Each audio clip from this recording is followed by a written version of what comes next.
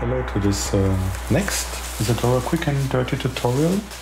The main point here is how to connect um, a sound that you can implement an effect. So you choose AU audio file player. You can double click in the scene like this, then you have a search field AU and then it comes audio file player. The next you need is audio device output. And then between the connection of the audio devices, you can select an effect. After they are connected, we can double click on it and then it pops out a new interface. Uh, I have here connected a keyboard watcher to turn on the sound and a stage mouse watcher.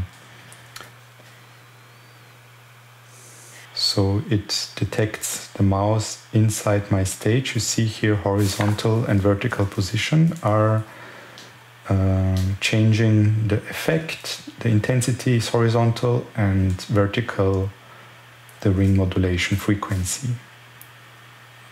Make a, make a quick demonstration. So I hit A for starting the sound.